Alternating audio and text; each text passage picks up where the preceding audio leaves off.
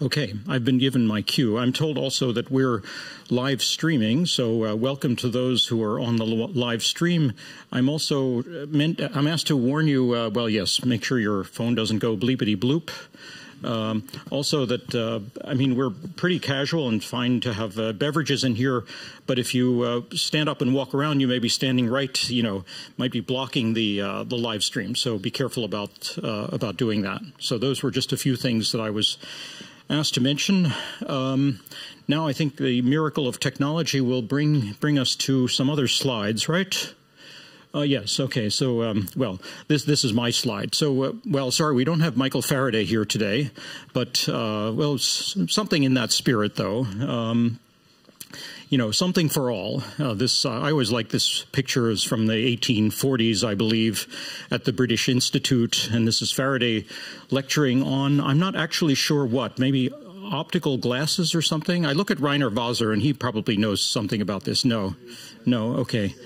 Um, and uh, I always think this is a very, very interesting that this is a very uh, good uh, gender equality, actually, in uh, in the year 1840, that uh, there were uh, people of all ages and genders at his lectures.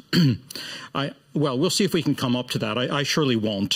so, but I'm just here to say a few opening words. Um, in, in lieu of our board of directors who were hoping to be at this uh, event but were not able to come. So I'm I'm the sort of pretend uh, uh, uh president of the board for these few minutes. Um, so uh, we indeed come to the end of the summer, although the um, temperature doesn't really indicate that.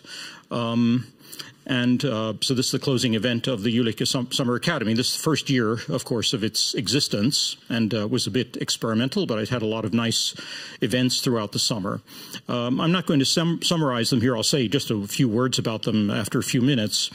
Uh, but I thought I'd give a little context uh, frankly, by just uh, saying a few words about um, our branch of the Jülich Summer Academy. This, the theme this summer has indeed been uh, advanced computing and um, and a lot of it has indeed been quantum computing. So I'm a, a, advocate of quantum computing. So please bear with me, and I'll give you a few uh, thoughts about quantum computing here at Jülich. And uh, I would say it's it's my hope, but it's a sort of long-term hope that these uh, developments at Jülich will actually connect with the work of, of mainstream computer science, which is represented by today's lecture. But the point of this slide is to show that um, we have actually a quite comprehensive program in quantum computing at Jülich, um, which uh, goes all the way from the development of of uh, uh, low-level parts, you might say, you know, real hardware uh, components of the quantum computer, which are very special in quantum computers because they, you know, they have to have quantum properties most of the rest of this are not so much quantum, but they're just about how to exploit uh, the things that quantum gives us.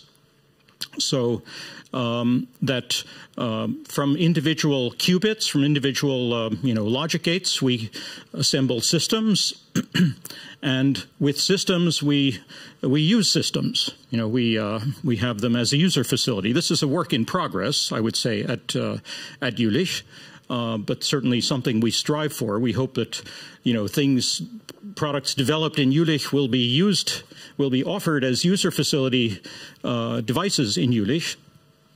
Um, uh, a lot of expertise, you know, these are solid state quantum computers that we research, and they uh, draw a lot of expertise from the um, our uh, deep strengths in things like uh, materials, um, and in the characterization of materials to perfect these kind of chips. I'll show you one example in a couple of minutes. Uh, but I haven't yet talked about this corner, which I think, in a sense, is the gives us the connection to today's speaker. That uh, we realize that quantum computers. Uh, I mean, we've understood for some years how they will work as physicists, but physicists don't run computers. Physicists sort of know how to make the, the basic building blocks of quantum computers, but they don't know how to really run them. And running a computer is a very complex uh, process, and of course you need applications, but you need also software, also control software, also other layers that, uh, you know, things like reliability and security and things like that eventually become uh, highly important. In a rudimentary form, they're already important in the existing unique uh, facility, but I think uh, eventually this story will need much more of that. Now, you see, um, uh, these in small type are the various um, Jülich departments, and of course the insiders, our speaker is not so so conversant with all of these little uh, uh, things, you know. So if I gave him a quiz, what is PGI nine? He said, well, you know, PGI nine, what is it? And but he could tell me what uh, I don't know what uh, InfoSystems chair number three is or something. So you could also blast me with uh, with uh, things that I don't know. But these are all codes for you know big vital groups of people. You know, tens of people. Each one of these, tens of people.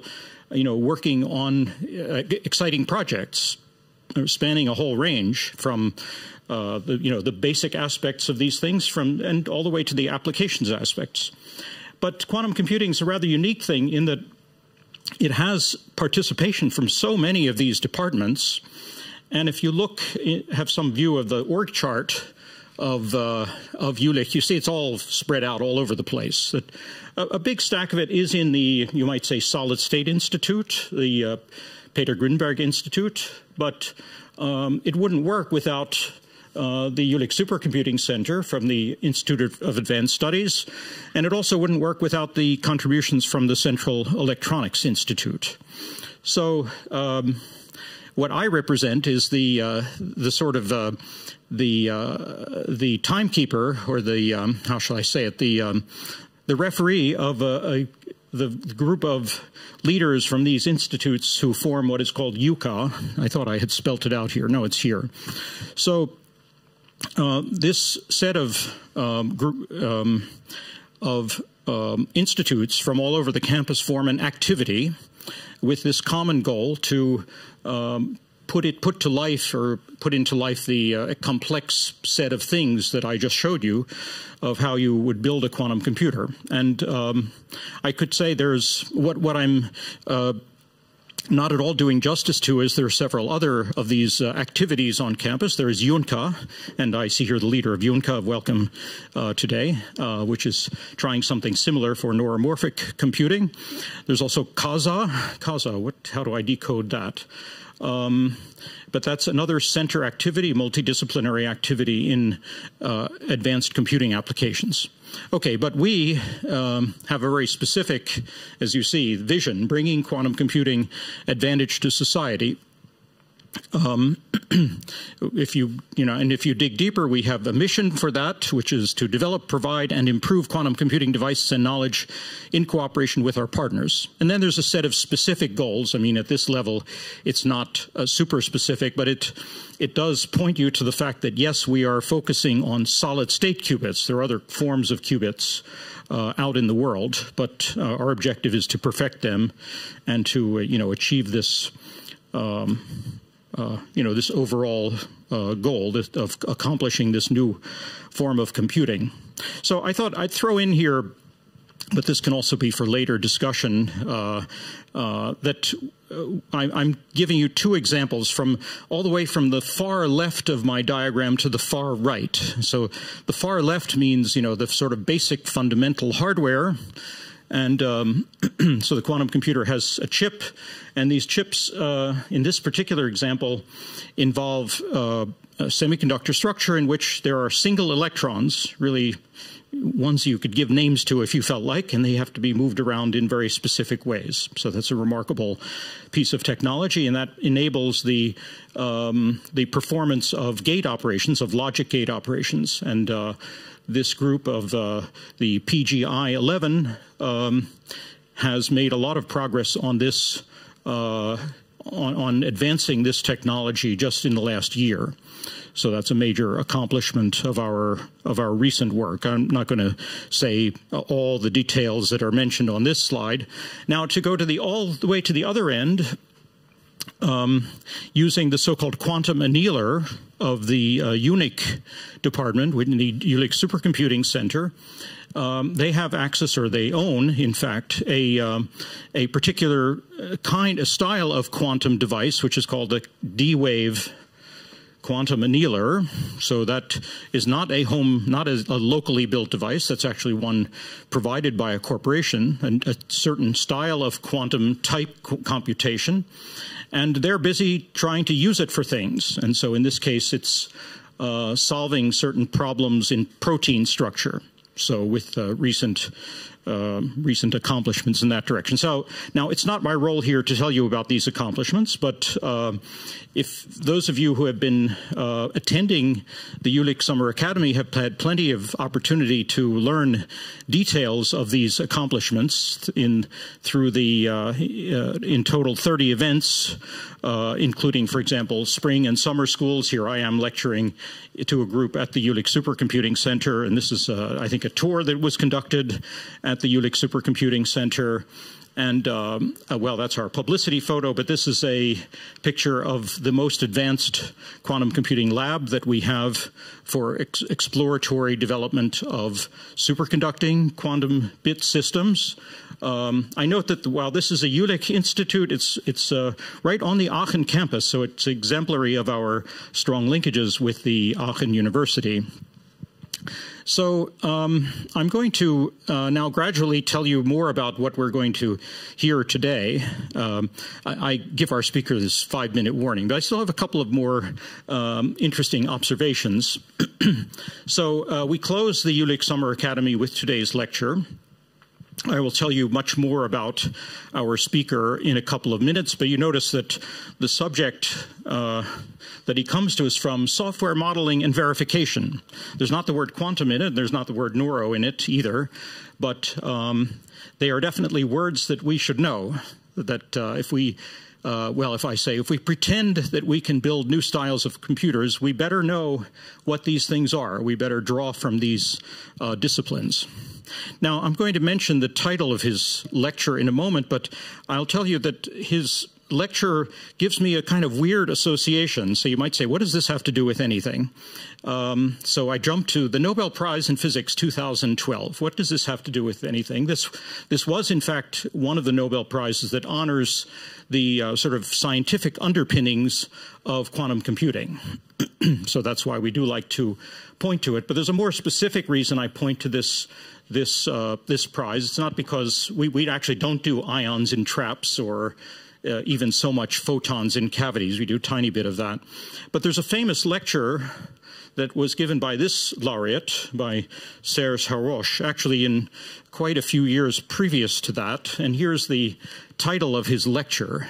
And um, quantum computing dream or nightmare was what he said. And this was a magazine article version of his lecture. And so he challenged people to say, uh, are we really on track in quantum computing? And I would definitely agree. In the year 1996, we weren't. Uh, we were still ages and ages off from uh, having quantum computers, and so it was fair to say dream or nightmare. And I'm afraid, you know, people have had nightmares trying to deal with their uh, current, you know, research problems in in quantum computing. Now, today's lecture will not be uh, dreams or nightmares, but it's dreams or reality. So. Um, um, I've now come, okay, this is the end of my short uh, uh, ideas, set of ideas about the Academy and about our setting here. So my only uh, job now is to say a little bit more about our speaker. So I'm very pleased to have my uh, colleague, to the extent that I'm still a professor at the RWTH, uh, my colleague, uh, Professor Joost Pieter Katoen of the uh, Computer Science Department of the university. But uh, here, just so you can see his timeline, he's, uh, of course, a native of the Netherlands, and you see his studies were at the University of Twente. And if you look on a map, it's just straight, you just go straight up north for a few hours, and there you are at, at lovely uh, University, Technical University of Twente. Uh, my daughter is presently a student there, so I've gotten to uh, be very charmed by the uh, the university. So a master's in computer science, and then I see a double doctorate. I didn't actually know that before I looked at your bio, but you had both a doctorate in engineering at uh, TU Eindhoven and also back for a real doctorate, it looked like, in computer science back to Twente. And then after a not very large number of years, he was a professor here at RWTH and uh, was designated a distinguished professor in uh, some years after that. And he's presently the head, uh, or I might even say the chair, perhaps, of the head of, uh, of the software modeling and verification at Arve RWTH. So without further ado, I ask you to uh, listen to um, the lecture today, Efficient and Reliable, Hardware and Software, Dream or Reality. Joost Pieter.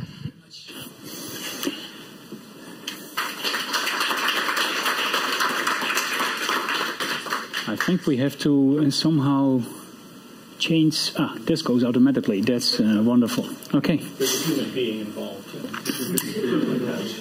Yeah, welcome. Uh, honestly, I feel a bit nervous as a computer scientist to um, to give a talk at this uh, prestigious, uh, let's say, uh, Forschungszentrum Jülich. Um, it's uh, it's an honor for me to be here, and, and it's an honor for me to uh, to give a presentation. And as uh, David already mentioned, I want to talk about efficient and reliable, and I would say the focus is more on reliable and I hope that I can also show you that you can use similar means not only to check reliability but also efficiency. And we're going to see whether this is uh, maybe a dream or reality. And uh, at the end, um, I'm going to start with, uh, with, let's say, results in computer science. And at the end, I, I made an attempt to also bridge towards quantum. So let's see uh, whether that uh, can bring anything. Uh, be able to get rid of this uh, mute icon? is that an example of software reliability? No, I don't know. I mean, it should be. I don't know why this is there. Yeah. Honestly. Yeah, it's just there. Um, maybe try turning it on again and see what happens. We try to switch it off and switch it on again. It doesn't. I mean, I, uh, it's it's it's bothering me a bit. But anyway. Um,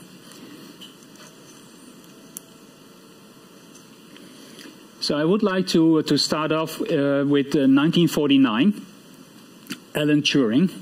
And I guess you know what for you in physics is Nobel Prize in uh, computer science is the Turing Award. And let's say reliability is one of the areas where most Turing Awards have been awarded, and we will, let's say, encounter a few of them during the talk uh, today. So um, uh, Turing um, wrote a paper where he presented this program. It's written as a diagram. And the way to read this is that uh, you start on the left. There are a couple of program variables. The dashed ones mean that these are, will be the new values.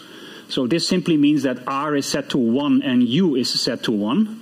Then the control goes to here, and then it says that V, I mean, this value is becoming the old value of U, which was 1, so now V becomes 1, 2. Right? That's the way to read this. And then you see here is a test. It tests whether R equals N, if this is not the case, the negation, then you go here. If it is the case, you stop and the algorithm terminates. And otherwise, you go into this loop, and you see here is an innermost loop, but there's also an outermost loop, right? And the challenge is, what does this program compute? Um, if you have an answer, you're most welcome to uh, already, uh, let's say, say this. Um, uh, something with integers, indeed. Uh, indeed, it does. And this uh, comes, and now this is annoying that it's there. It's uh, it's from the report, and I've, i found this interesting. Uh, it's a report on highly automatic calculating machines. We're talking about 1949. Yeah. Um, anyway.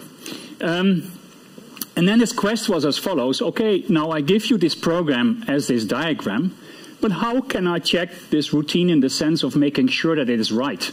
Is this program correct? In order that the man who checks may not have too difficult a task, the programmer should make a number of definite assertions. Assertions are annotations to the program, logical assertions, which can be checked individually and from which the correctness of the whole program easily follows. That was his argument, 1949. And then after some end, finally the checker should verify that the process read the program also becomes to an end. That means that the program terminates. Good. So are clear two things, assertions and termination. And that will be leading also in this talk. And this was the proof he was provided. So this is literally a copy of the paper in 1949. Here you again see the program. The program he annotated with A, B, C, and so on. And then he inserted assertions to the locations in this graph, right? And this graph is nothing else than a graphical notation of what you nowadays would write down as a program. Um, and he was inserting this. Well, this is still a bit hard to understand, so maybe I try to make this a little bit more readable, and this is the readable, hopefully more readable version. So maybe I go just through some examples. So here, let's assume that this is correct what he's saying. So he asserted here that on this edge, so going from this assignment to that assignment, the following statement is true. R is always between S and N. U is S times R, I mean, faculty and V is our faculty. Okay, and then how does he proceed? Well, then he says he go to the next statement. Now, what you see in this statement, U becomes U plus V. V is our faculty. U was S times our faculty, so now it becomes S plus 1 times our faculty, right? I hope that's easy to understand, and that's how he proceeds. And then, for instance, here you see that S becomes S plus 1, and that means, for instance, that this S, which is here at most R, now becomes S minus 1 at most R. Yeah, because S has just been increased by 1.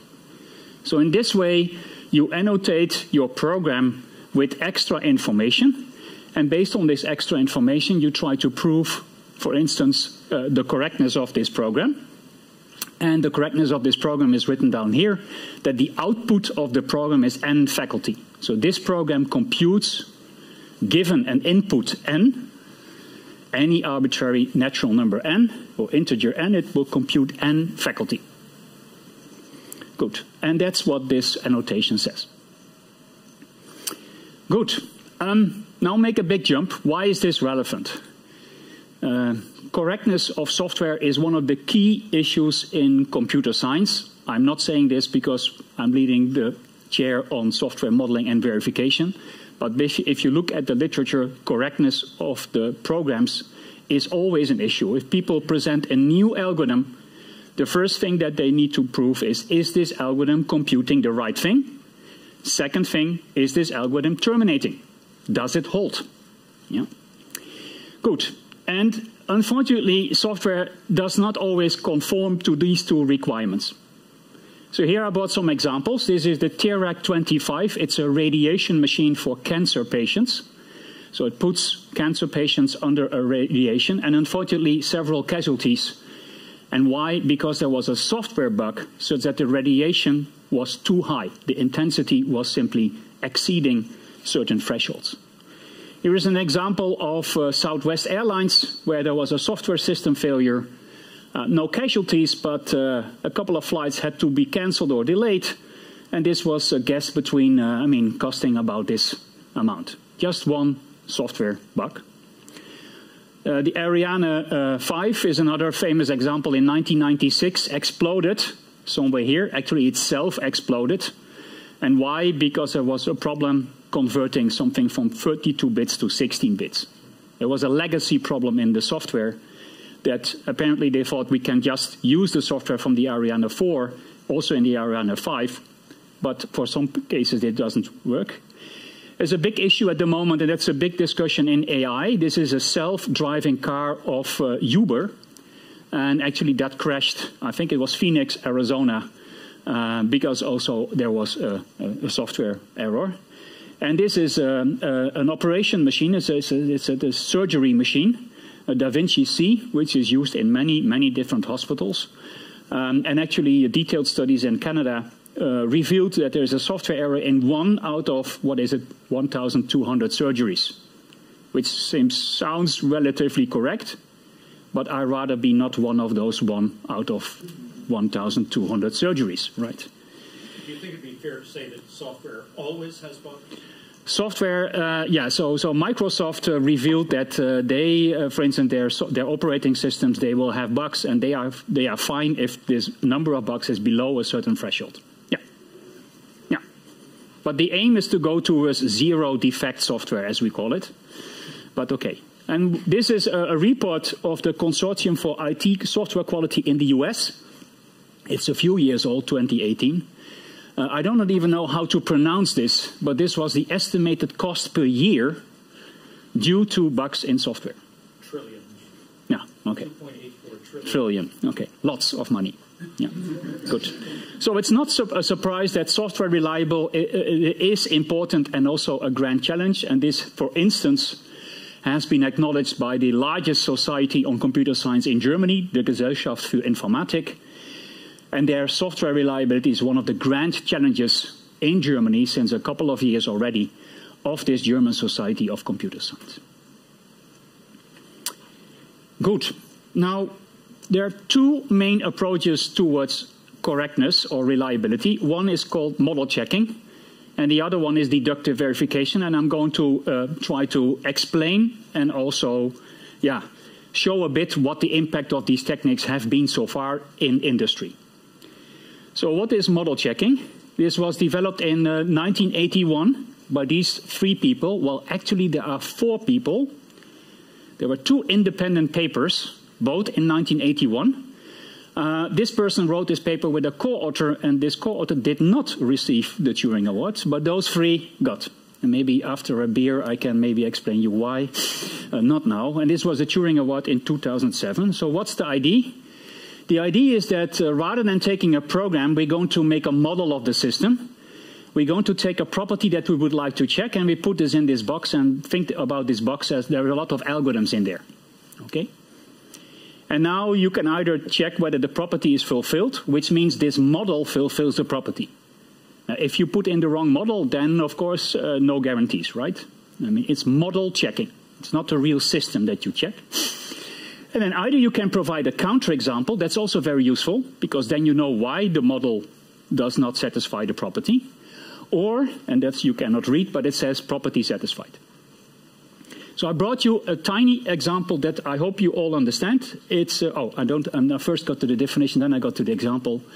So model checking is an automated technique that giving a finite state model of a system and a property systematically checks whether this property holds in that model. So in terms of the way people write this in computer science, it says we have a model, you have a property, and you check whether the model satisfies the property. Okay? Important is that uh, you should think about this as a kind of state di transition diagram. I get to an example, and here a kind of mathematical logical formula. I also have an example of this, and then you, the answer is indeed the model satisfies the property or not. Uh, notice that this is decidable because uh, the model is finite. Yeah? So we will see later that you also have to sometimes look at undecidable problems. And the toy example I brought for you is the wolf, goat, cabbage puzzle that you are all familiar with. We have a river bank, and here is a, a ferryman. There is a goat, there is a wolf, and somewhere there should be a cabbage. Okay? And you all know the problem. They have to be brought to the other side of the river. Okay? And I'm going to solve this for you by means of model checking. Uh, not because this is the most efficient way of solving it, just as a piece of illustration. Yeah? Good. So the first thing we have to do, remember this picture, is we have to provide a model. Okay, how does the model look like for this system? Well, it looks as follows. The way to read this is as follows. We start in this configuration that it says the, the cabbage, the ferryman, the goat, and the wolf are all on the left side of the river, which are numbered zero. Okay. And then you basically model all possible scenarios. So one possible scenario is that you take the cabbage and the ferryman and they go to the other side of the river. This happens when you take this edge. So then we in this configuration. And now, for instance, the ferryman can go back alone, leaving the cabbage on the other side. And that means we go to this configuration. And what you see here is that the cabbage is on the other side of the river, and the other three are over here. Okay? Good. And this model is basically a state transition diagram modeling all possible possibilities of this, let's say, puzzle. Good. Now we have to check which is the property. Of course, we want to bring everybody to the other side. But of course, we want to avoid that the wolf eats the goat and that the goat eats the cabbage. Okay? So how are we going to do this? Again, this picture, we have a system property, and the system property looks like this. So let me try to explain this. What this says is the following. What is our target? The target is that the cabbage, the ferryman, the goat, and the wolf are on the other side of the river, all with index 1. What should happen before this situation is reached? Well, if the wolf and the, uh, and the goat are together, there should also be the ferryman. So if these two are at the same riverbank, the subscript i is the same, then the ferry, ferry should also be at that bank. Yeah? Otherwise, this is a bad situation. Yeah, because the wolf will grab his chance and, of course, uh, eat the, the golf. Similarly, if the cabbage and the goat are on this riverbank, there should be, the, again, the ferryman to, to make sure that the goat is not consuming the cabbage. Okay? And this we want to ensure for both riverbanks. That's what this, this conjunction is saying. Good. So this you can put into the specification. Actually, what I'm doing is putting the negation in the specification. Why? Because then I'm to, going to give you a counterexample, and this counterexample will be a schedule that brings everybody to the other side of the riverbank in the correct way.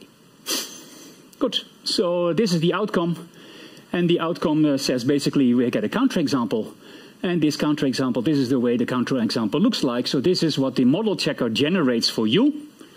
Uh, here is a scenario that brings everybody to the other side of the riverbank without the wolf eating the goat and the goat eating the cabbage. Okay, I hope this gives you an idea what you, what a model is, what a, what a property is, and what you can do with model checking. Now, of course, this is a toy example. In reality, systems are much bigger and much more complicated. This is a actually already simplified model of a Hubble telescope, uh, where you maybe would like to prove certain properties. Uh, this is still, it fits on one slide. Most models do not fit on one slide.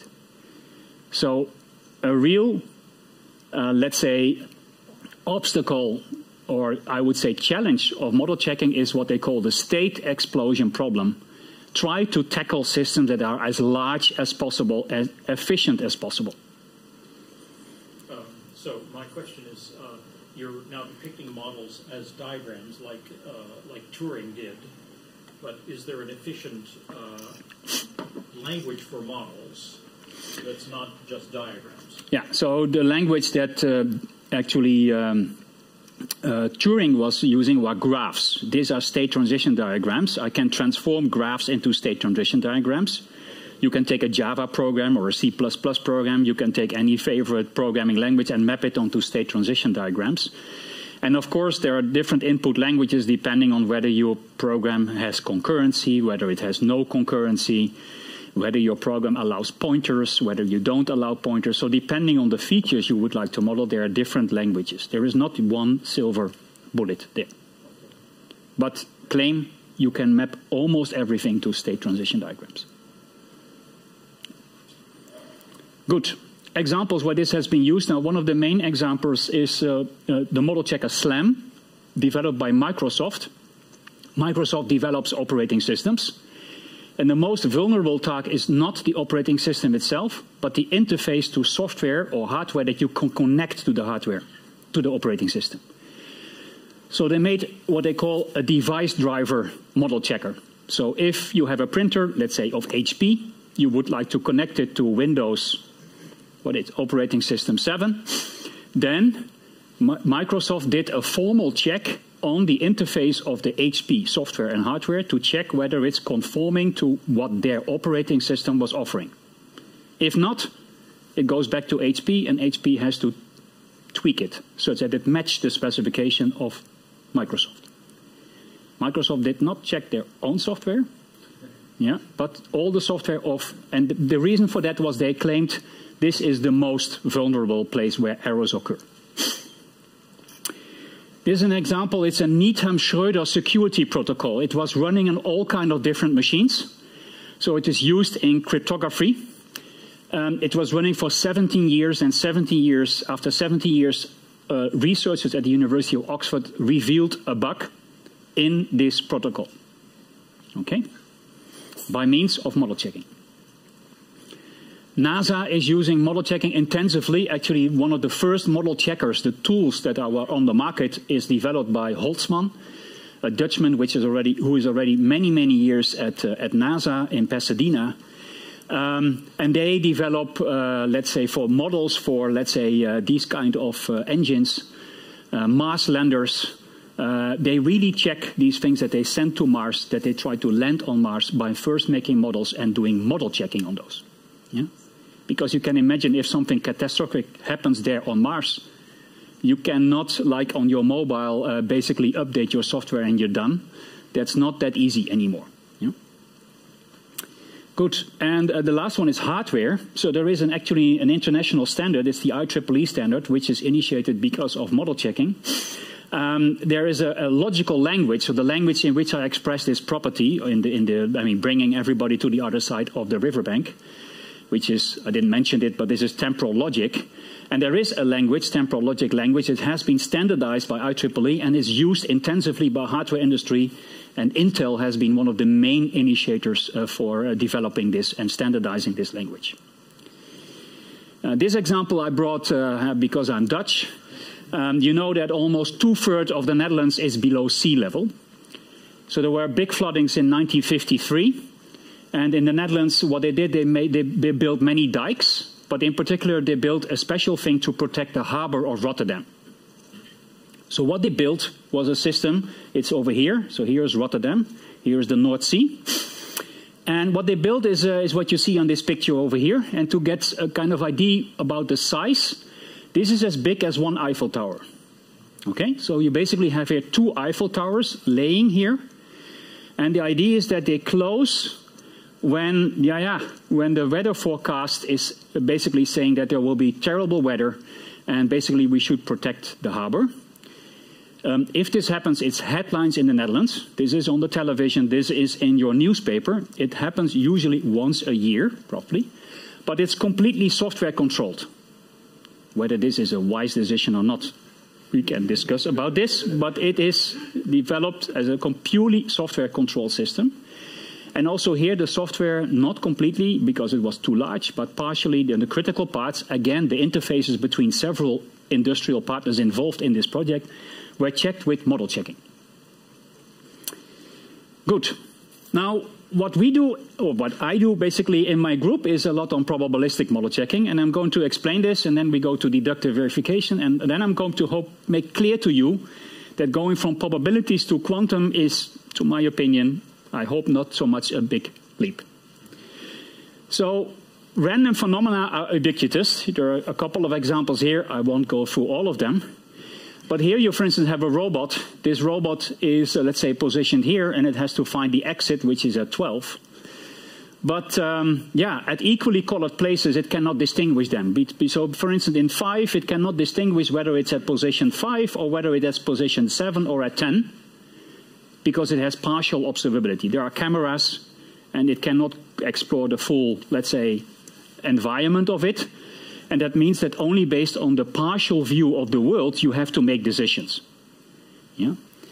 But you can already see, I mean, if for instance those two are equally colored, here the best decision is to go to the left, whereas here the best decision is to go to the right. Yeah? And actually what you can prove is that you need randomization, so sometimes you need to flip a coin to be optimal, to let's say optimally, I mean, to minimize the expected number of steps to find the exit, for instance, and you need memory. This is encoded in this 101x and so on. I'm going, not going to explain this. But it means that your, the robot, the planning of the robot is uh, subject to certain uncertainties here. Um, in self-driving cars, I had an example already in the beginning. These cars have to drive in a certain environment. You don't know in advance how the environment will, let's say, react, how it will act. Um, and therefore the environment is uncertain and you have to cope with this uncertainty. And here it's supposed to write down security. Also in security systems, I mean, you won't like to have your system secure against, for instance, attacks. You don't know what's the power of an attacker. You don't know when he or she is going to attack. Um, so these are a lot of uncertainties. And actually what people use a lot are probabilities there. To be optimally, let's say, sure against, for instance, attacks. Good. Sure. Regarding the probability which you mentioned, uh, here do we use the uh, uh, like the model of uh, non-deterministic finite automata uh, to get it, or um, because in uh, if we use DFA, then uh, like we have a set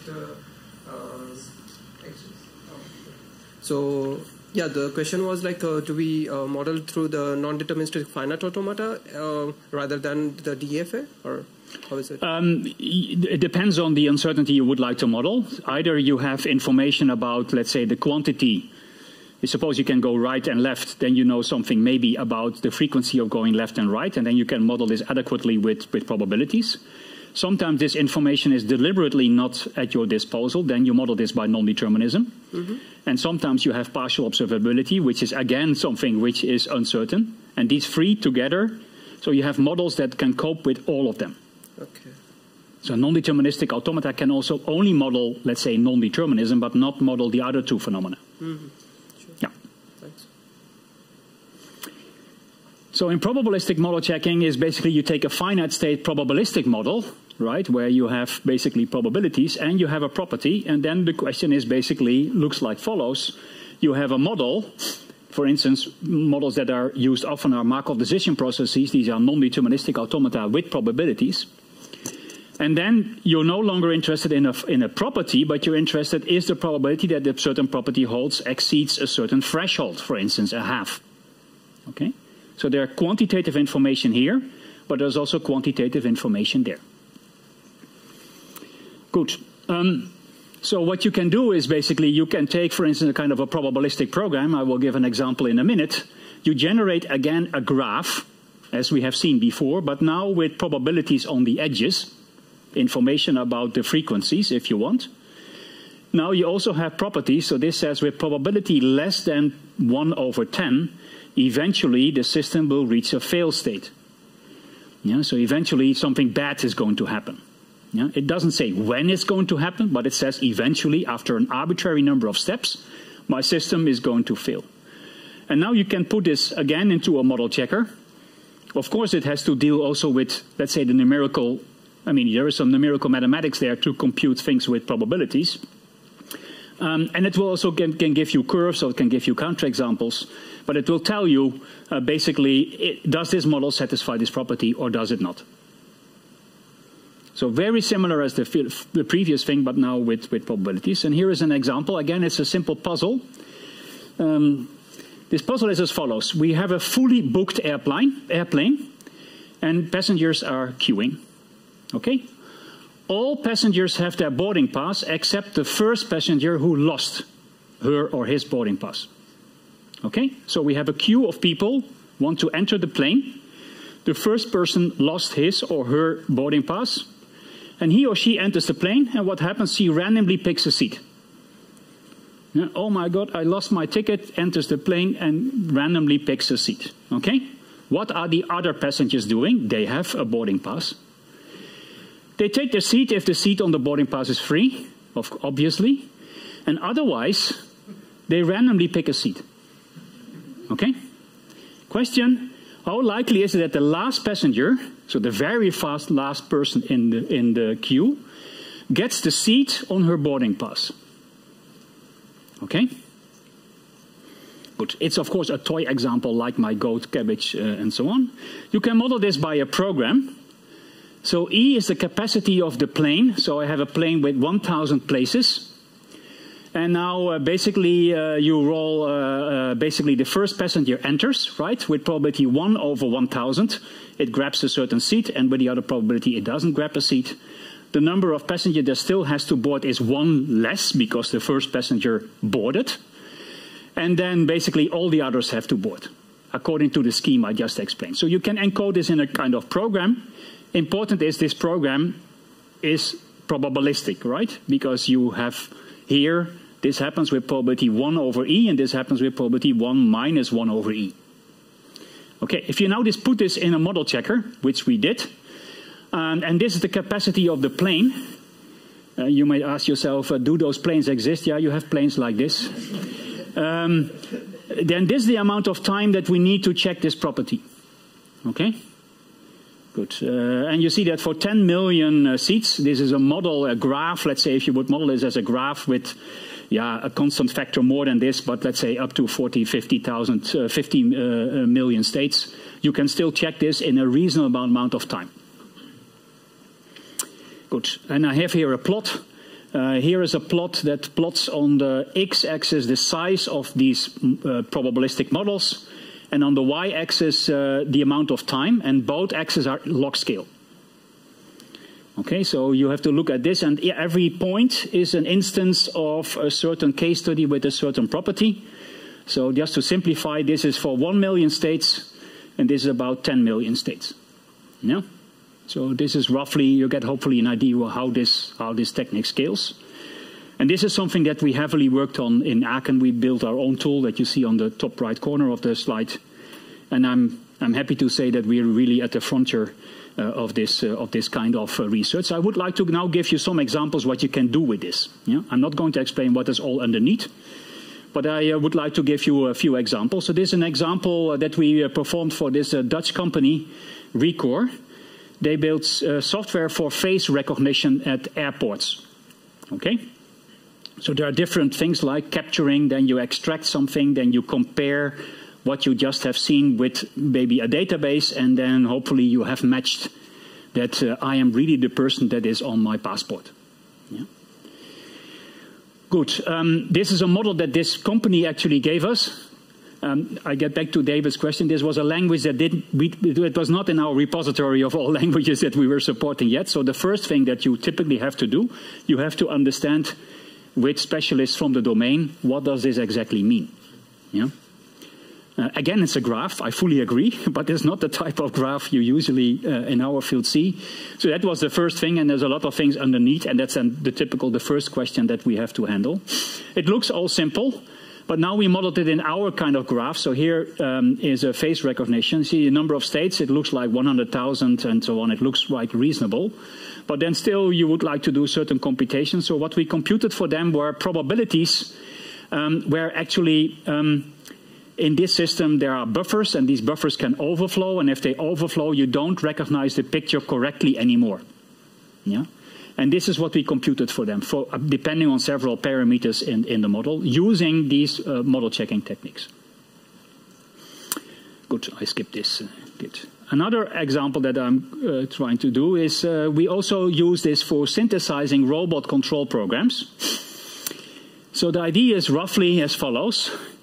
Um, you give me a program, but the program is not a full program, it's a partial program. We call this a program sketch. The way I explain this is typically there are programs with holes.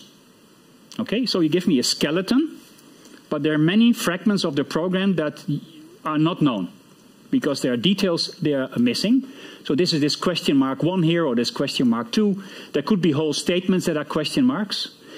Um, that gives actually um, rise to a kind of family because you can plug in here all kind of different options. You can plug in here different kind of options. So if you look at all possible combinations, you get here a range of possible combinations. And now you give me a property that says, for instance, that with probability less than 0.1, you eventually should reach a failure. And, for instance, the expected amount of costs that this robot has to do when it moves around uh, until it finishes should be minimal. And what we try to do is you automatically try to synthesize a program. So this is the program where the holes are filled. That's what is in this square brackets. And that should satisfy this property. So it's a kind of correctness by design by saying, okay, I roughly know how my program looks like, right? Um, I also tell you what are all the possible options. And now can you for me synthesize the best option or the option that satisfies my specification? Sort of most expressive program sketches? Like yeah, in general, this is an undecidable problem, right? Um, so indeed, uh, what you like to do is you would like to, uh, yeah, basically only look at specific cases in order to stay within the realm of model checking, which means that you still need to be decidable. Yeah. So there are compromises here. Yeah. I'm not saying that every program with arbitrarily many holes can be solved. I think I have an example. So this robot controller actually was uh, synthesized automatically. We, had, we started with a program that had 22 holes, okay? And the idea was here to find a controller, so a piece of software that's controlling this robot, that no matter where it starts, it will find the exit. It should find the exit yeah, without failing, and it should find the exit in a minimal number of steps on expected number of steps. Um, there are 9.4 million strategies. So that means in this picture, this family is a 9.4 million pieces. So there are 9.4 million, let's say, instances of this control program. Um, each program is not that big, but if you have to, let's say, check 9.4 million programs of this size, you have to do quite a bit of work. Uh, this takes you about two days. Um, but we developed algorithms to do this in a much more clever way, and within one hour you can compute this strategy. Now, you might say one hour is still long. I agree. But the program is correct by construction. Yeah? It satisfies this specification, and therefore you know that this control strategy in the end is satisfying. Hopefully, is this capturing what you want? Uh, it satisfies then what, what this robot is uh, supposed to do. Is it the, the normal, like the standard practice to have a failure rate? Is it the standard practice to have the failure rate to be 10%, or is it less or more? No, uh, it depends on your application, right? I mean, uh, this is, uh, I would say, still very liberal. I mean, typically this is 0.0.0.0.0.01. Yeah? Yeah. Yeah. And this also has an effect on the amount of time for computation and so on. So there are several aspects here. Yeah. Good. So here is, a, a, I think, the last example that I showed. This is a, a swarm of satellites. So these satellites are, uh, let's say, traversing a kind of orbit. But uh, sometimes they can change their orbit. At certain specific points, they can change their orbit. And the idea, of course, is that you would like to avoid collisions. So, uh, and the idea is that, uh, yeah, if you change from one orbit to another orbit, it will cost a certain amount of energy.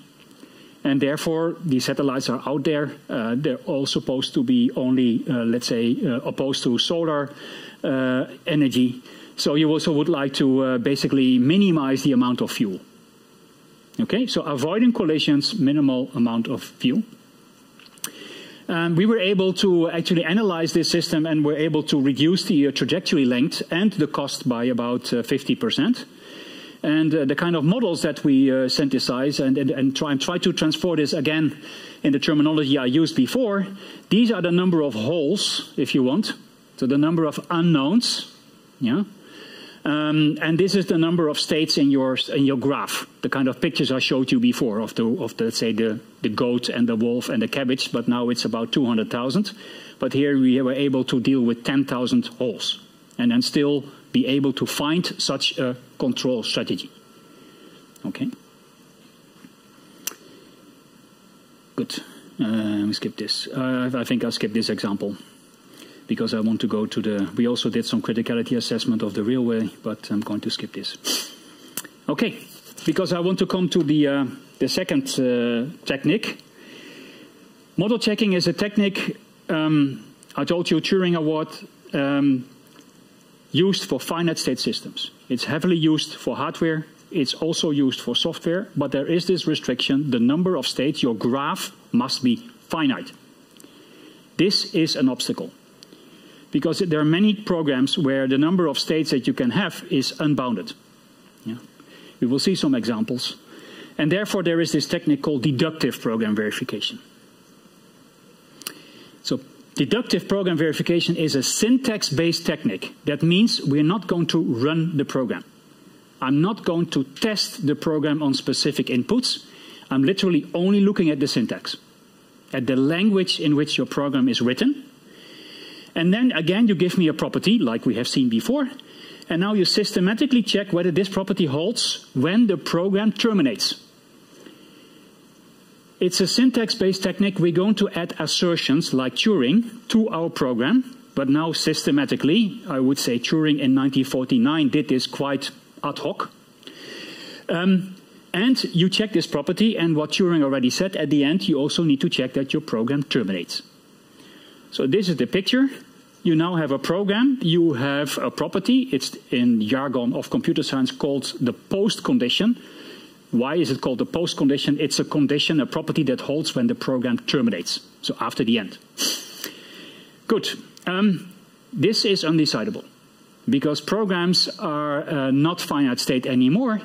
So here we have to deal with a program. You cannot develop an algorithm like a model checker that solves this problem for you.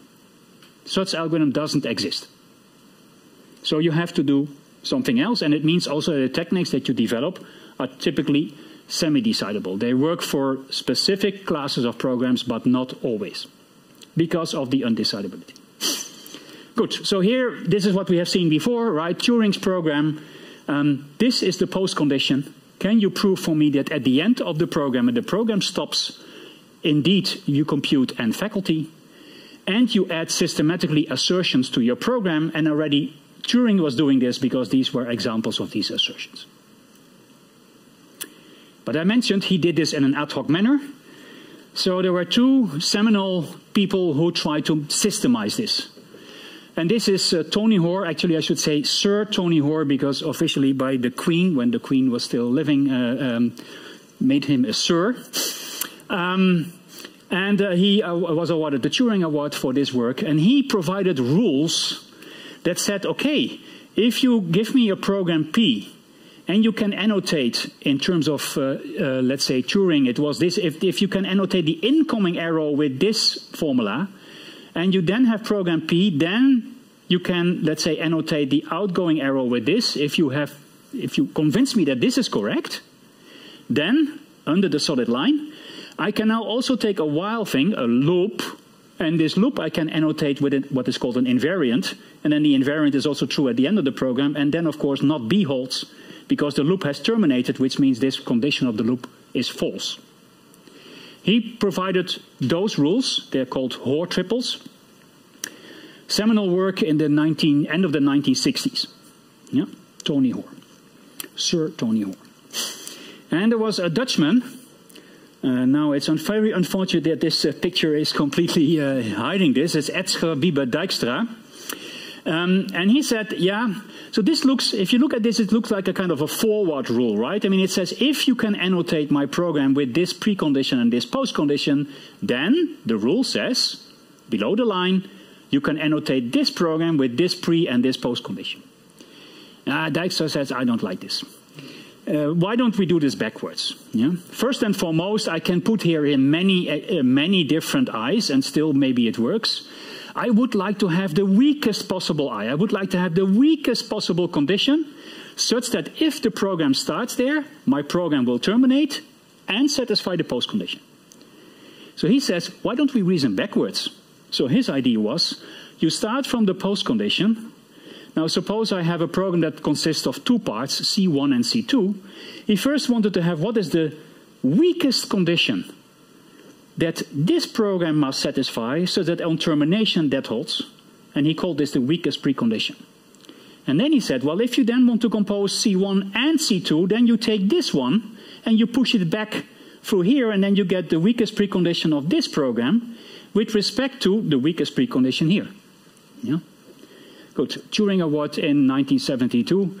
Uh, you all know Dijkstra because Dijkstra is also well known for the shortest path algorithms, and shortest path algorithms are used in your uh, uh, device that I used here to drive here from Aachen to um, to Jülich. You know? Good. Okay, so this were basically systemizing approaches for uh, uh, the idea of Turing. And I would again like to show you some examples. So the first thing is a sorting algorithm. Now, I guess everybody knows what is a sorting algorithm. You have as input a set of natural numbers.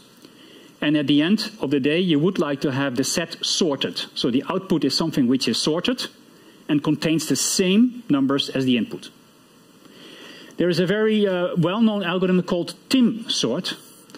And this is used in Python, Java, but also maybe in your mobile phone. Yeah, and researchers, and you see the researchers here in the Netherlands and Germany, found out that this is unfortunately wrong. Yeah, so people were using it. It was running on your mobile. It was running in, in Python in the standard library. And I think this was a paper of 2015, 2016, where they showed using the techniques I just showed you by annotation. Actually, they used a lot of automation in there uh, to, to prove that this is uh, wrong and uh, now it's hard to see, but uh, the bug was pro proven to occur. I mean, you can answer, why did nobody notice so far? Yeah. Well, they proved that the bug was proven to occur for inputs of at least size 2 to the power 16 for Android version 6 or 2 to the power 26 when Android version 7.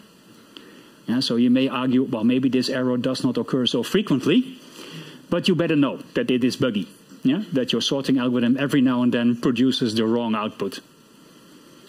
So I have a question about yeah. also about the past. I remember something like 20 years ago, there was a new Intel microprocessor and had a buggy uh, arithmetic logic unit. Yeah. And uh, were they captured by any of these techniques that you're describing? Uh, you know, so there was a, was a rather gross bug once it was uncovered. It was, uh, you know, really bad error. Really maybe you refer to the FDI FDI4 uh, V error. It was a floating point division, floating, uh, floating yeah. point yeah, division floating error. Division. Yeah. yeah. Yeah. This was, uh, let's say, mimicked later a posteriori by verification tools. Oh, but it was sort of in the prehistory of these things. Yeah. Okay. Yeah. It was 1996 uh, when this happened. Yeah. Yeah. okay. Yeah. Would it have been caught way faster with the current techniques? With maybe with current techniques, maybe yes. Yeah, yeah, yeah. But this is not only due to the let's say advance in the amount of techniques, but also in the advance of computational power that we nowadays have. So you can basically model check larger systems simply because systems have been become faster. Yeah. Um, so this is a bad. I, I, I have to apologize for this thing. This is a this is a screenshot of um, Amazon Web Services. So you may ask yourself, who is using this idea of Turing, or Dijkstra nowadays? Industry does. So Amazon Web Services has a whole team. Actually, they bought uh, they bought really people from uh, Microsoft, from NASA, everywhere. They try to give them lots of money. Do you want to work for Amazon? They have now a team of about 40, 50 people. They work on verification. Why? Because if something goes wrong in the software of Amazon, it means their servers are not accessible anymore for a certain amount of time. And if they are not accessible, it means loss of money. Millions. Yeah? If on a Saturday Amazon is not reachable, you don't want to know what this costs, right? So they want to avoid this. Yeah? And the second important aspect is security attacks. Yeah? So there are two main reasons why these companies, uh, let's say, invest in this technology. And they develop a technology called Dafny. And this works on programs. And I don't want to go to the details. It's again a program that sorts, but this is just a coincidence. It says this is a post condition. Uh, it says, okay, you need to give me an input, and this input should not be a null list.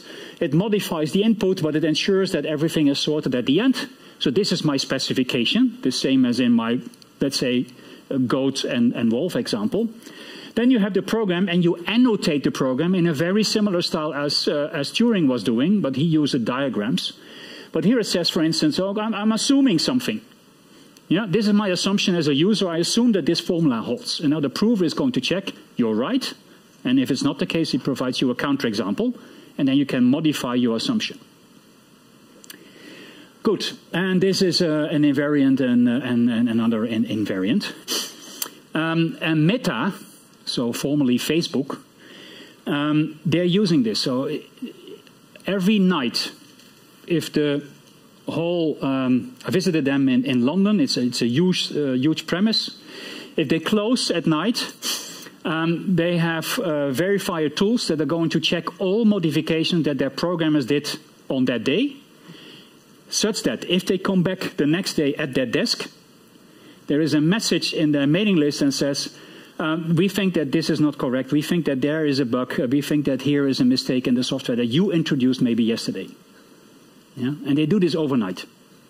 Yeah? And every day. Um, and they use this kind of technology. Good. Now, I want now to go to probabilistic, and now I would like to get a little bit more, a bit more technical, perhaps.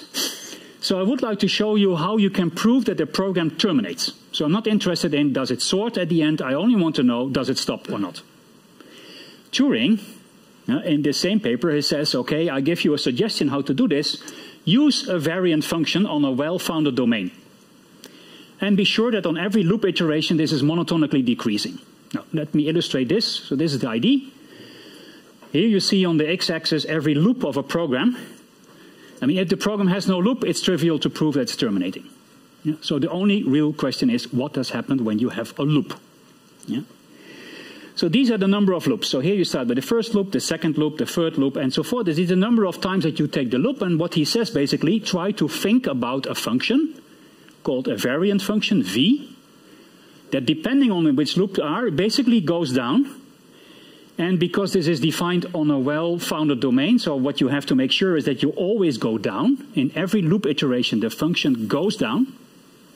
Yeah, it cannot stabilize, it can definitely not increase. It should always go down. And then, mathematically speaking, it's defined on a well-founded domain. What does that mean? It means there is no infinite change, infinite chain of going down. Yeah? You only have finite chains. And that gives you the argument to prove that this is correct. Let me show you two examples and this then you will understand. This program is simple, I hope. It says as long as integer x is strictly positive, increment x by 1. Uh, de decrement x by 1.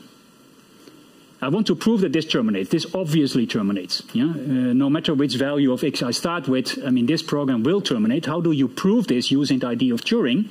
You take a variant function. This variant function is simply x. Does it decrease in every iteration? Yes, it, it, it, decreases by 1. It decreases by 1. It's a, uh, it's, an, it's a natural number, so it cannot go below 0, so there is only a finite number of going down. End of argument. This is a bit more difficult. We have an x and y, and as long as x and y are different, if x is larger than y, x becomes x minus y, so I subtract y from x, and otherwise I do the reverse. Claim this program terminates. Why? Now, now I have to think a bit more. The variant function says x plus y. And then you can show again that x plus y is actually decreasing in every step, and therefore you can only decrease finitely many times. Program terminates. Good. And now I want to bridge towards quantum by first looking at probabilistic programs. So first thing I need to explain you is that by probabilistic programs you cannot talk about just termination.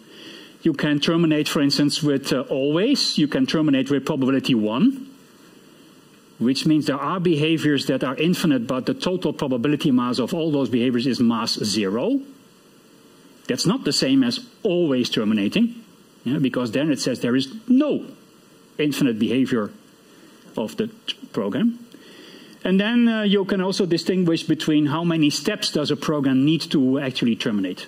I think the best is to look at an example again. So I brought you a one-dimensional random walk. It's a problem that people in stochastics, mathematicians, look at quite a bit. So how to read this? We start at position 1. I could also have written here 100 or 10. It doesn't really matter, apart from the fact it should not be 0. Because then what I'm doing, as long as I am not at 0, I'm flipping a fair coin. This says with probability a half. I'm going to increment x by 1 or I'm going to decrement x by 1. That's what this program does. So in terms of a picture, this is how it looks like.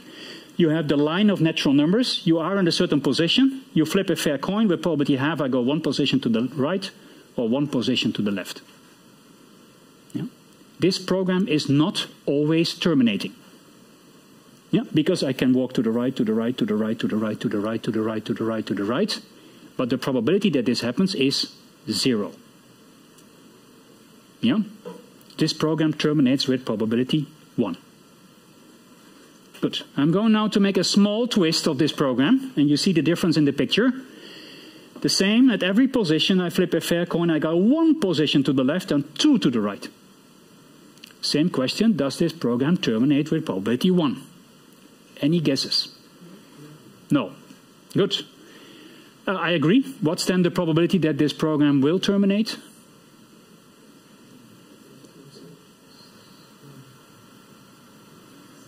Uh, that's a bit harder, right? I mean, so this is the difference, eh? x plus 2.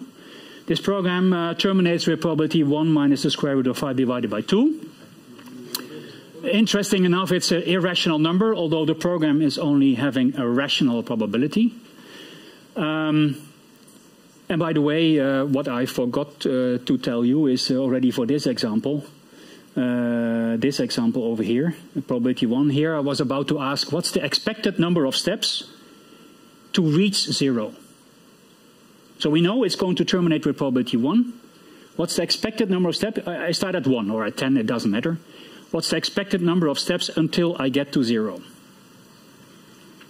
Any suggestions? Sorry? N squared? No? No.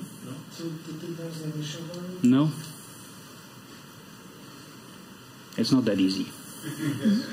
it's infinite.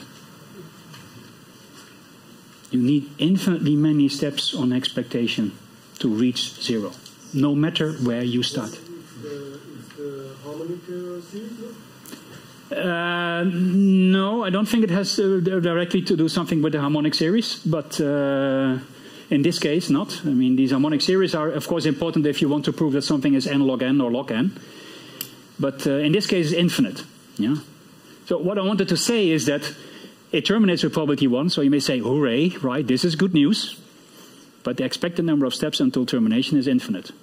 A computer scientist would say, well, that's a tautology. If the program terminates, then you always terminate infinitely many steps. Otherwise, you don't terminate, right? It's you saying the same thing, but in two different ways.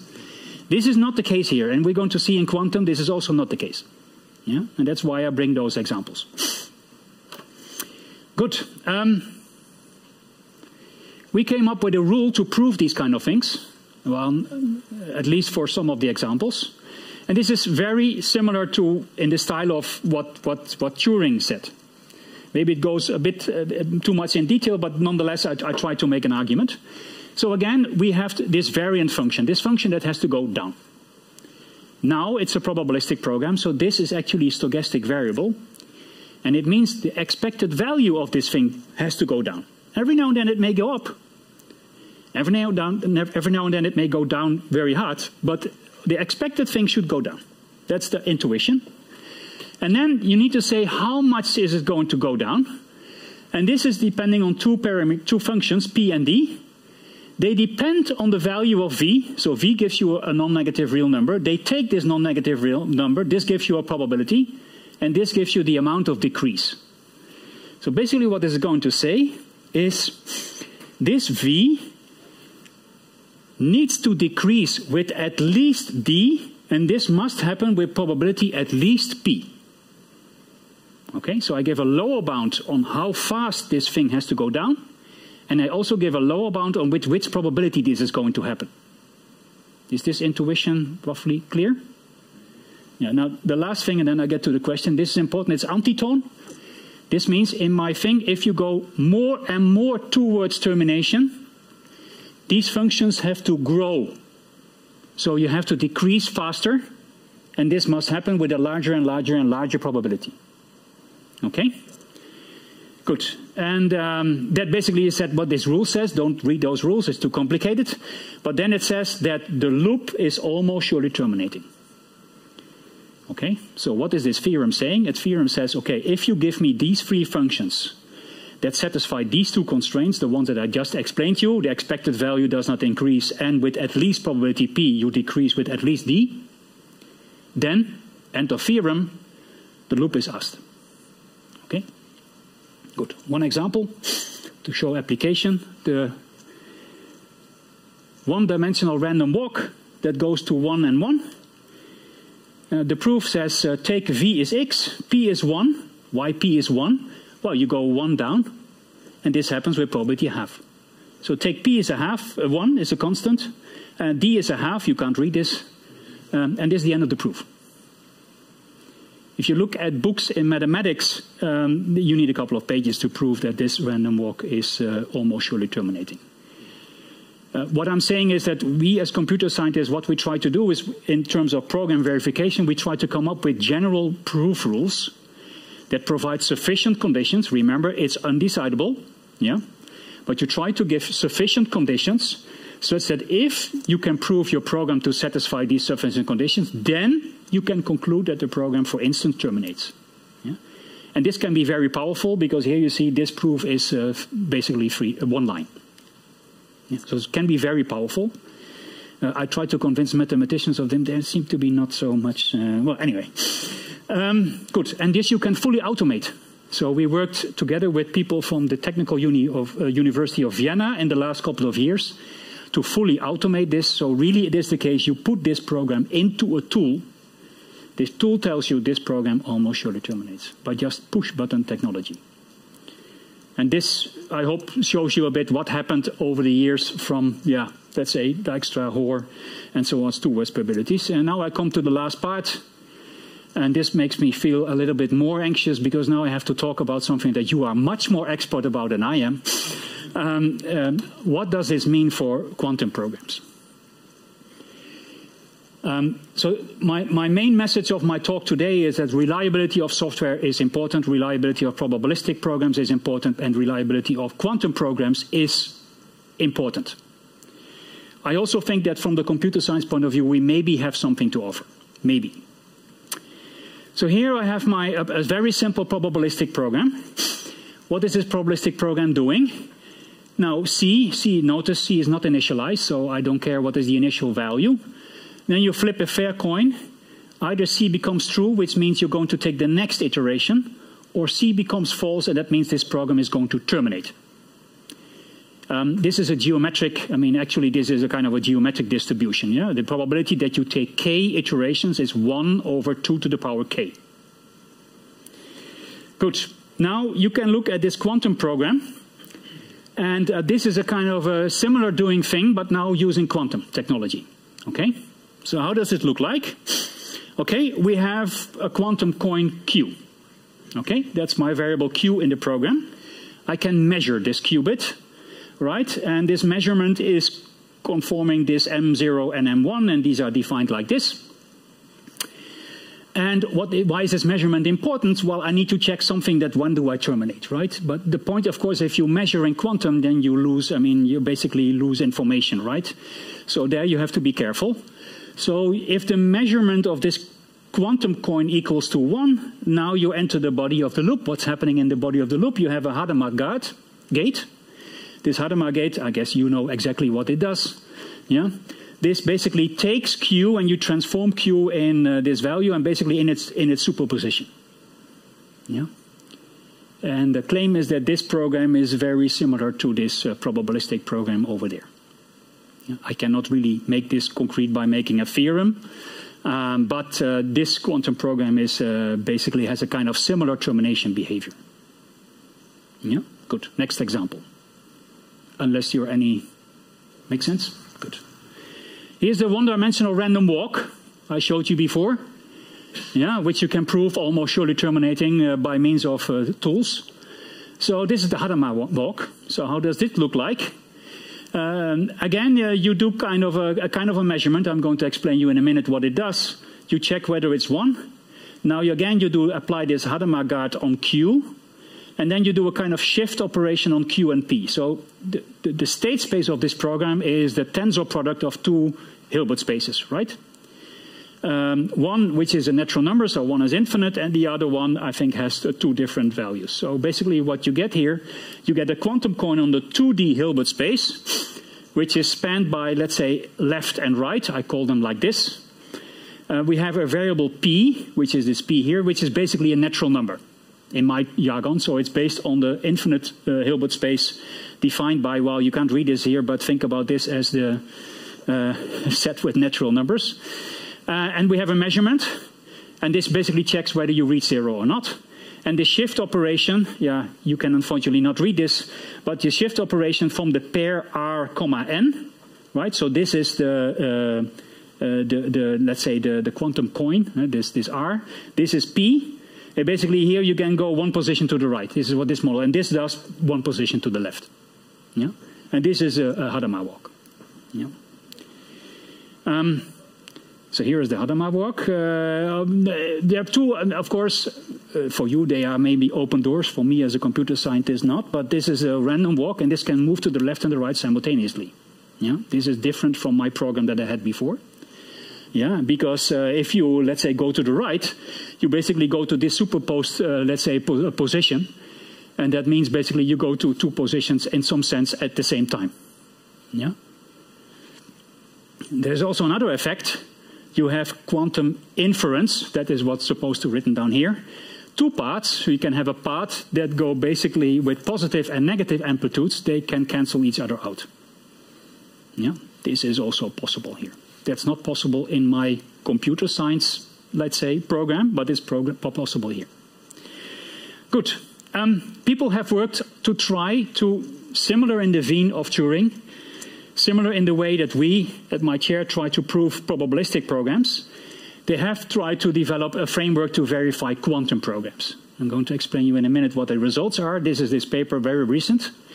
So they do proof annotations for quantum programs in the way we have seen and the way I showed you. What do they do? They determine the expected runtime. So how long does this quantum program run on expectation? Um, they also give a physical interpretation in terms of a quantum observable, what this expected runtime exactly means.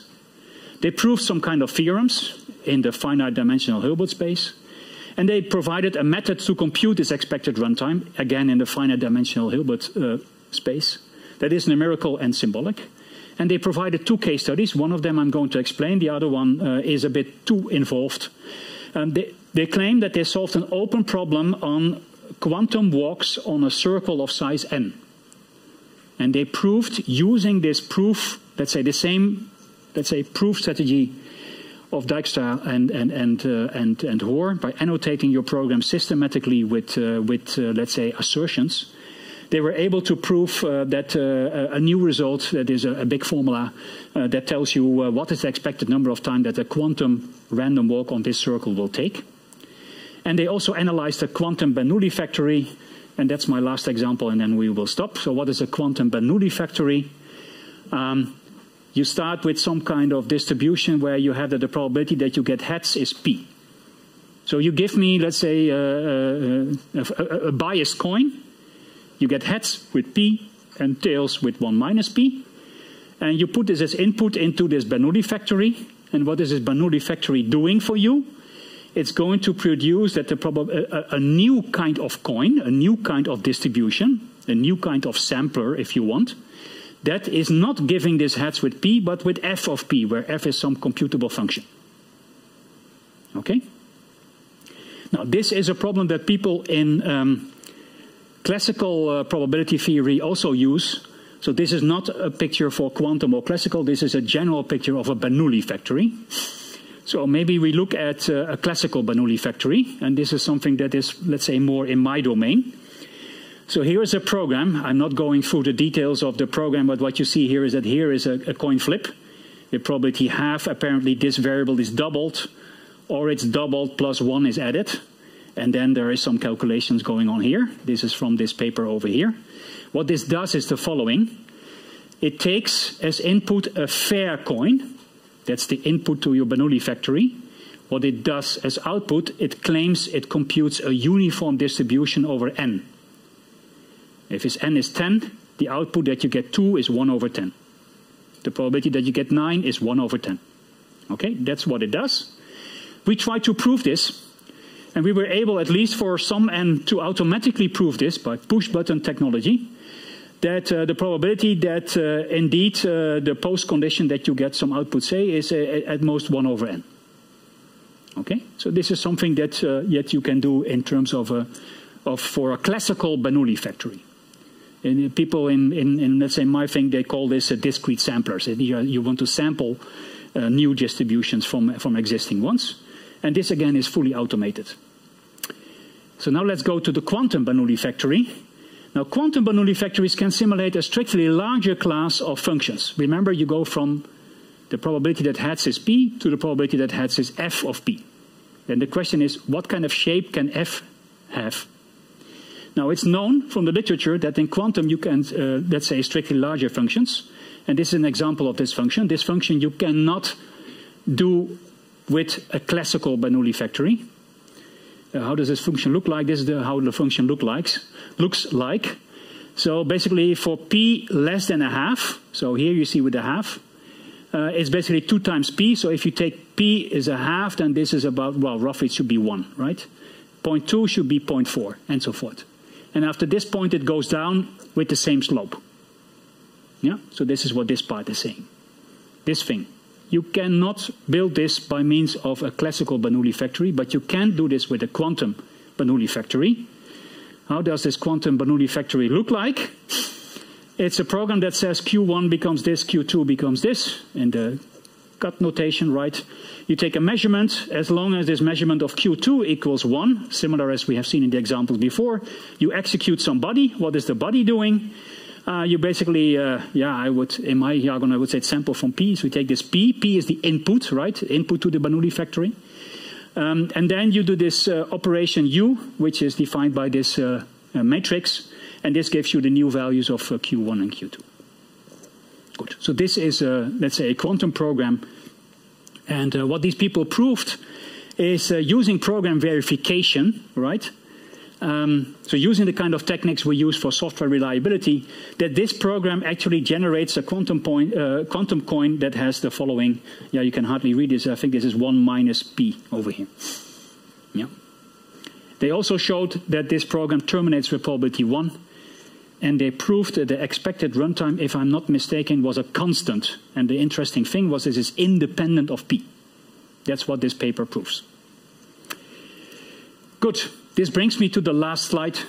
Um, what I try to make clear to you is that software and hardware correctness is pivotal. I was much more focusing on software than on hardware, but uh, software. I try to make, uh, let's say, convince you that state of the art for, for circuits and programs. For finite state is model checking. For infinite state, it's deductive verification. Remember, this is decidable, that is not decidable. That is the main distinction. There are many other distinctions, but that's the main distinction. Um, I showed you that th there are generalizations toward probabilistic circuits and probabilistic programs. Um, techniques like probabilistic model checking and deductive verification techniques of probabilistic programs. And in my chair, actually, we work at both uh, at the moment quite intensively. Um, and towards quantum, yeah, I think that zero defect quantum software is important not only at the hardware level. I know that there are tense work to be done also with error correction codes and so on, but I also think the next step is to look at quantum programs and prove, mathematically speaking, that they possess certain properties. And I see, I'm not saying that that is my next leap, but there is a leap that goes from, uh, from probabilistic uh, to, to quantum. Good. Here's a website, and uh, thanks a lot for your attention.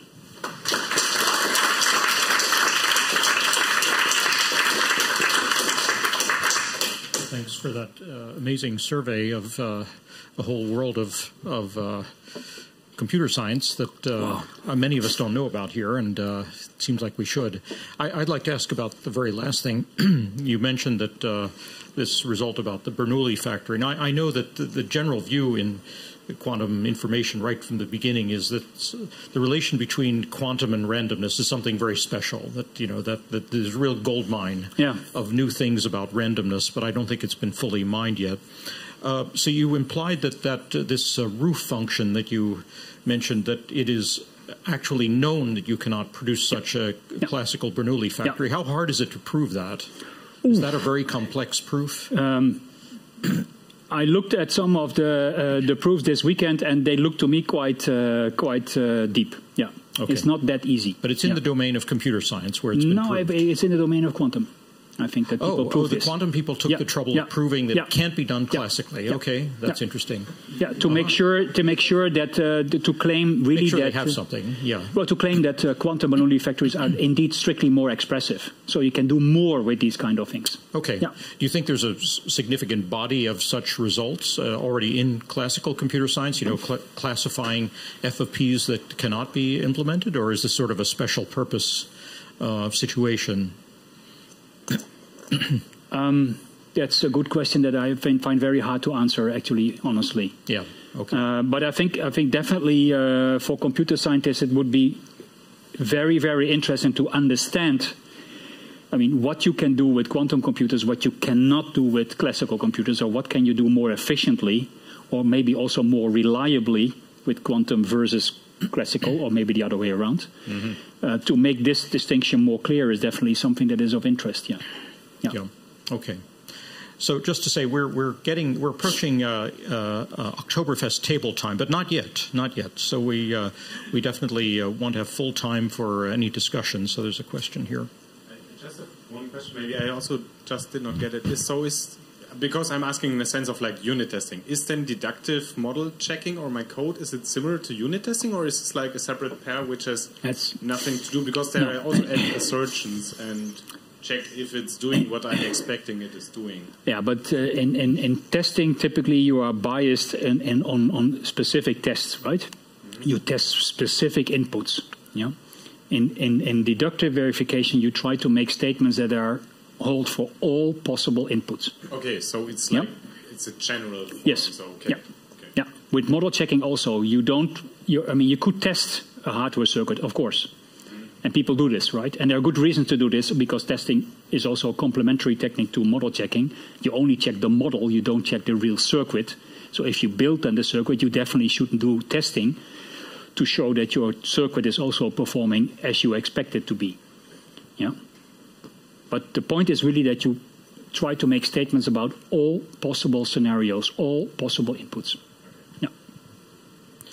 So, Of course, I have even another question, but uh, let me ask it, and then I'll go get to uh, to Rainer. So, you uh, you introduced to me the notion of semi uh, undecidability or semi decidability, which is fascinating. That so you say that uh, there are you explain there are certain classes of uh, programs that where you can just you know you give it to your automated thing and it says it will halt.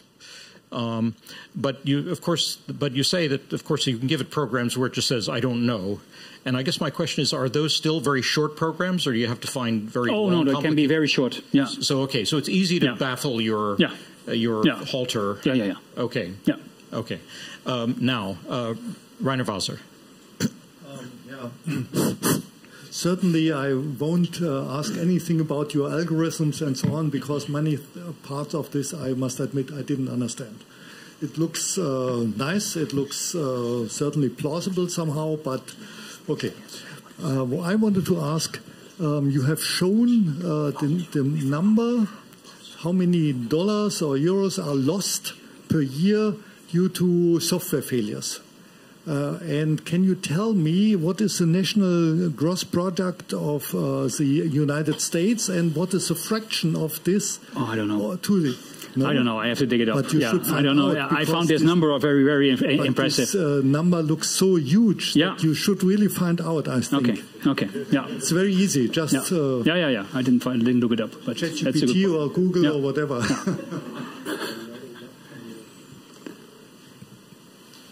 uh, Tim Hondrich. Yeah. Thanks for the uh, nice talk. I have a question. Maybe I misunderstood this, but. Um, uh, is this on this last slide of yours? You showed that you have to kind of measure a quantum state and then you go into this while loop, uh, right? Yeah. So would you have to reset the quantum state after each uh, cycle of the while loop? No. Or no? no? it was already in the in the very first example where I used this, right? Uh, I mean, I think it was this this example. Uh, here I use already the same principle, right? I mean, here you do a measurement, yeah, and then after the measurement, you you apply this Hadamard gate to Q, and then you get the new value of Q, and then you repeat. You do the measurement again, you apply. It. So the way to read this is really like this, right? You check the guard. If this guard is true, then you're going to execute the body, and then you uh, apply the Hadamard gate to your input. And you do this as long as, yeah, at some point your measurement says, yeah, it's not going to be equal to 1 and then the program is terminating. Yep. Okay. Any uh, any further thoughts? And of course, then I should ask: Is there anything in the chat? Uh, is the uh, thing you always ask? Okay, not uh, not for the time being. Okay. Um, I think we slowly uh, come to an end. We have a few uh, closing activities because we're at the end of our Jülich Summer Academy, but uh, I'd like to thank Joost Pieter again for a lovely uh, lecture.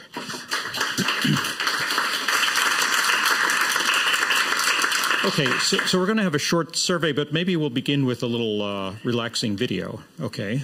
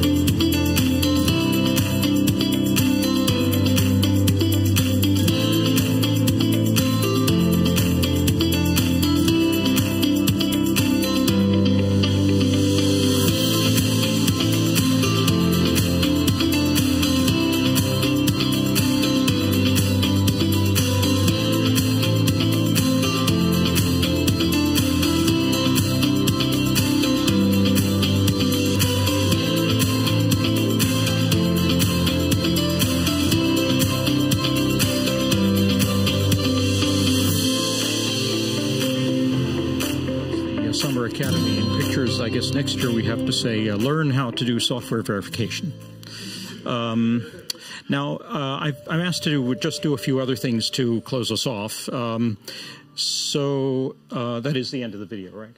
Um, so we have a, a little uh, survey. Um, how do we do it, actually? Some telephone thingy? I'm just seeing, you're, you're about to tell me how it works. Oh, okay. So that just means recipient, uh, registered members will get a, a, survey, and if you could please um, uh, fill it in, we'll get a better idea of how you've enjoyed the uh, Summer Academy. Um, I think with that, we're really done. Um, I'm, I'm, looking for signals from the communications department. Uh, I, don't understand your send signals. The one five is like some computer code here. Uh, just just speak up. You know we.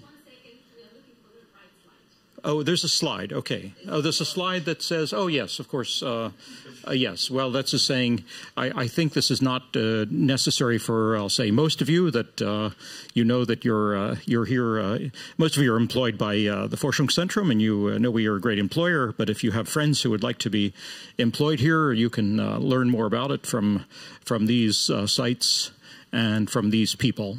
I don't know if I, there's anything more about this that you'd like me to say. Okay. That's that's it. Um, so I, you know, there's something that happens always at the end of the Olympics. I declare the there's the Olympiad, uh, the Summer Academy 2023 closed, and that's it.